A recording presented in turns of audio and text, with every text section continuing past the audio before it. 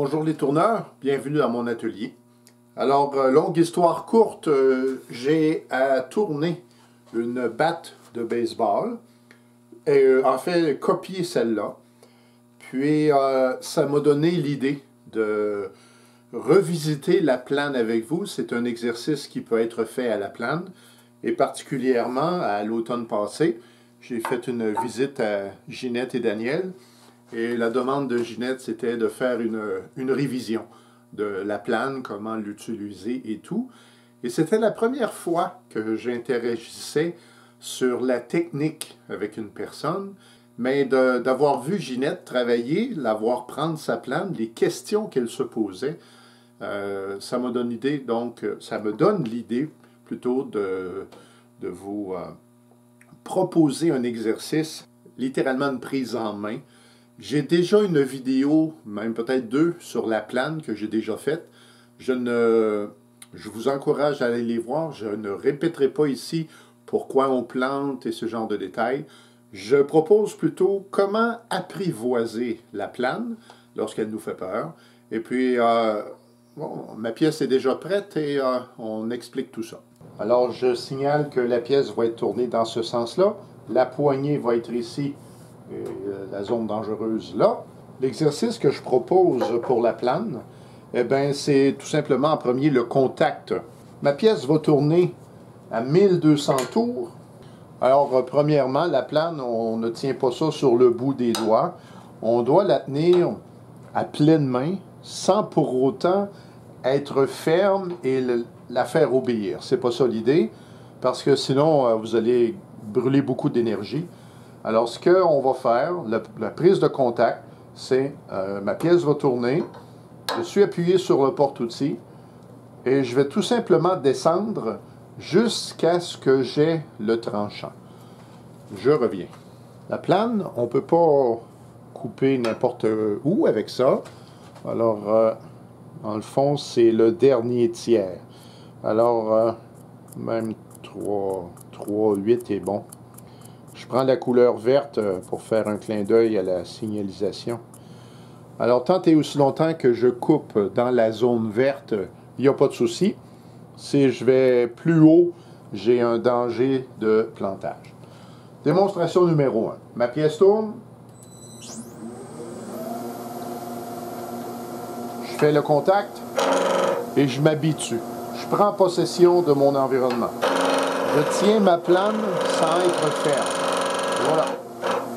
Et là, ce que je vais faire ensuite, c'est que je vais descendre ma plane pour trouver le tranchant.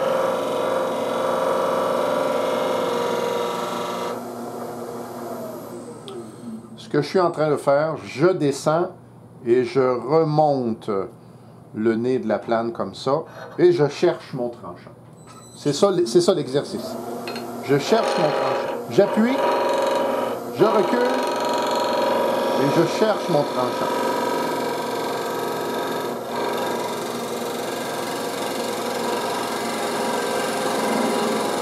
Et voilà.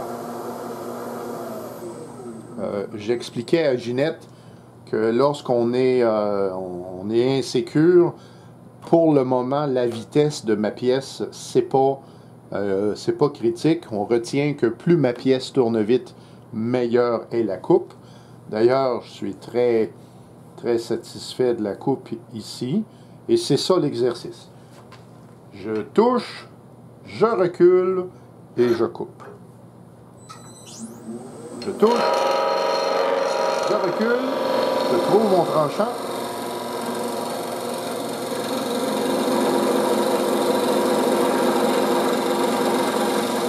Et là, personnellement, je crois que le porte-outil est un peu trop. Comment est-ce que je fais pour le savoir? C'est parce que je ne suis pas à l'aise. Je sais que je dois aller couper dans la zone verte, mais pour aller chercher le tranchant dans la zone verte, c'est pas confortable dans mes mains. Alors, je vais descendre 1 mm. Ça, je m'assure. Voilà. Je touche, je recule et je coupe.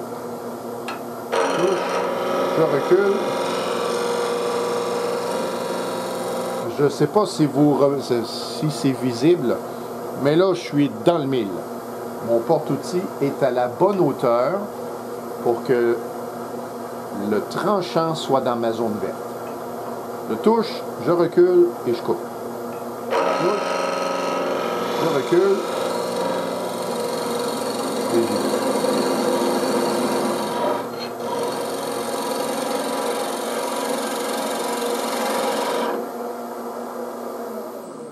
Pour aller chercher mon tranchant, je dois relever la gauche comme ça et possiblement me déplacer comme ça. Là.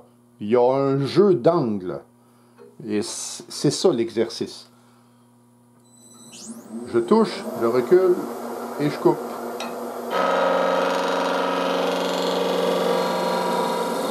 Là, je l'ai. Mais euh, je ne sais pas si c'est visible à la caméra, mais là, j'étais vraiment sur la toute pointe. Et euh, c'est pas la meilleure coupe avec la plane. On essaie de couper entre la pointe et la zone, le, haut de la zone verte. C'est. J'essaie de positionner mon outil pour aller couper exactement au milieu de ma zone verte. Mettons que je le dis comme ça. Je vais chercher mon tranchant. Ça, c'est bon.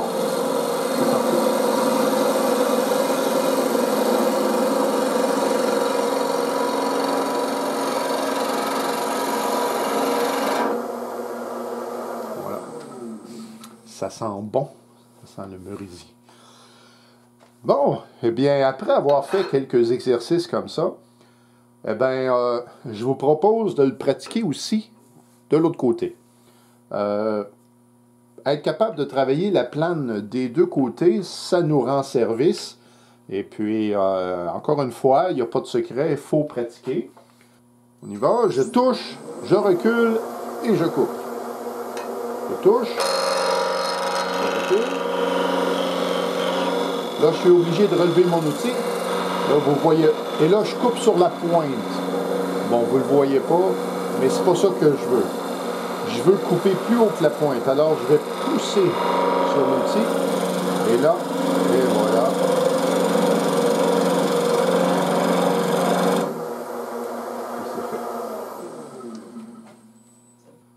J'ai des, j'ai euh, des ondulations dans ma coupe. Ça, c'est de la vibration. Pour revoir mon affûtage, mais en vérité, vous savez, le bois, ça a une direction. Hein. ça pousse du sol vers le haut. Et lorsqu'on tranche le bois dans le sens de la croissance, c'est parfait. Mais si on, coupe à l'envers, ça se fait. Mais on a des risques d'éclat. D'ailleurs, je le sens ici. Ici, là, j'ai une zone euh, qui est naturelle de la, de la série. Et quand je flatte dans cette direction-là, la fibre, elle cherche à accrocher mes doigts. Mais si je vais dans ce sens-là, c'est comme flatter un chat, c'est doux, doux, doux, doux. Être vraiment craqué, on, c'est un terme québécois. Euh, vouloir vraiment euh, performer, on pourrait tout simplement prendre la pièce et la changer de côté et ça irait bien pour pratiquer, il n'y a pas de souci. Bon, moi, je suis en train, euh, ma mission, c'est de faire une batte de baseball, mais vous avez ici un exercice de base qui, je crois, va vous permettre d'apprivoiser. Bon, faites à noter, euh, si vous pratiquez ce genre d'exercice, je vous recommande une pièce de bois de 20 cm, pas plus, parce que plus c'est long, quand on va être au centre, on va avoir énormément de vibrations. Donc, c'était euh, la plane euh, prise en main. J'espère que ma vidéo vous a été utile. Si c'est le cas, faites-moi signe, j'apprécie. Et on se dit à une prochaine fois.